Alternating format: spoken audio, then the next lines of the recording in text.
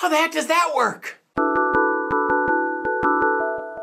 Hey crazies, if you've ever looked through polarized sunglasses, you might have noticed some weird stuff, like a difficulty seeing your phone screen. I'm sure your reaction was a lot like question clones. What the front offer? I've got an answer for you, and as usual, there will be lots of details. Cause asylum crazies think deep! The lenses in polarized sunglasses are coated in a material called a polarizer, because it, it polarizes light. Scientists tend to name things more descriptively than creatively. Anyway, this leaves us with a logical place to start. What does it mean to polarize light? To answer that, we need to review a little. Light is often shown to be an electromagnetic wave, like this. Since the electric part has more influence over things, we tend to focus more attention on that. We call that direction the wave's polarization.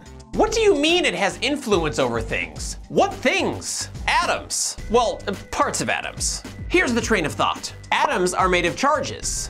Charges respond to electric fields. Light has an electric field. Therefore, by the transitive property, atoms respond to light.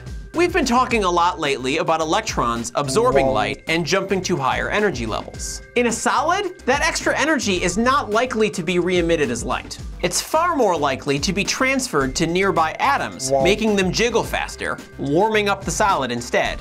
Polarizers are more like glass. They transmit light, they don't hold on to it. Their atoms don't have the right energy levels for that. However, by the argument we just made, those atoms should still be responding to the light, somehow. Let's take a closer look at this glass. Super zoom. This silicon atom is made of a nucleus surrounded by a cloud of electrons. The nucleus is positively charged and the cloud negatively charged, so they'll respond in opposite directions. Now say some light comes in with an electric field or polarization like this. The nucleus will move with this, and the cloud of electrons will move against it. Since the nucleus is thousands of times more massive than the cloud, the cloud's motion dominates. But that motion is accelerated, and accelerating charges emit light. The motion of that electron cloud will generate its own light, and transmit that light out the back of the glass. The outgoing light is polarized along the direction the cloud was vibrating, which is the same direction as the incoming light. Polarizers work a little differently. Super zoom. The molecules in a polarizer form long chains. Those chains are tightly bound, which limits motion along the chain. If we send in the same light as before, something different happens. The cloud of electrons vibrates significantly more perpendicular to the chain, even if that doesn't match the polarization of the light. We call that perpendicular direction the polarizer's axis. The motion of that electron cloud will still generate its own light, and still transmit that light out the back of the material. That outgoing light must still be polarized along the direction of the wiggle. But now that's a new direction. There's one problem left to address. The light that comes from a light bulb or the sun is said to be unpolarized. Unpolarized? How can an EM wave not have an electric part? How is that even possible? Because light and a light beam are not the same thing. This is not a beam of light. A beam is actually a large collection of EM waves, so it can have different properties than a single EM wave. Polarization is just an example of one of those properties. While one EM wave must have an electric direction, and therefore must have a polarization, the beam is made of many of these waves. If the electric pieces kind of line up, then we say the beam is polarized. But if they're all oriented randomly, the directions will cancel, and we say the beam is unpolarized. The beam is what you get when you add all those waves together. It's just easier to focus on one single EM wave now and then try to make predictions about the beam later. So let's do that. Consider this polarizer with this axis. Suddenly a light wave comes in with an electric part in this direction. The polarizer will still pass this portion of that electric arrow. That portion is a little smaller than the original, so the light comes out dimmer. If a beam passing through the polarizer is unpolarized, like sunlight,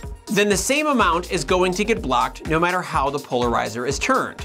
That's because you've got some waves like this, and some waves like this, and some waves like this. We say on average that about 50% of the light gets through, but in practice it's more like 38% because no polarizer is perfect. Polarized sunglasses have another added benefit, glare reduction.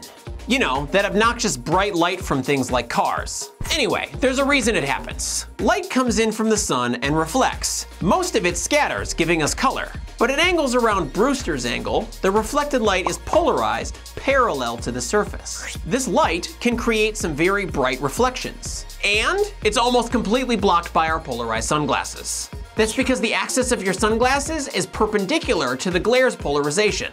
You can see the same thing when two polarizers are perpendicular. The light from a lot of LCD screens is also polarized at 45 degrees, so only half the light gets through your sunglasses. If you turn the sunglasses, you can make the screen appear darker or brighter. So to summarize, polarized sunglasses use long chains of molecules that can only vibrate in one direction to block a little over half of normal light and almost all glare. Plus, they're super stylish. What's the weirdest thing you've noticed when looking through polarized sunglasses? Please share in the comments. Thanks for liking and sharing this video. Don't forget to subscribe if you'd like to keep up with us. And until next time, remember, it's okay to be a little crazy. Also, to everyone who was wondering, what about photons? Don't freak out, it's coming. It's just that without this video, the video on photons would have come off a little abstract. I had to make this one first. Anyway, thanks for watching.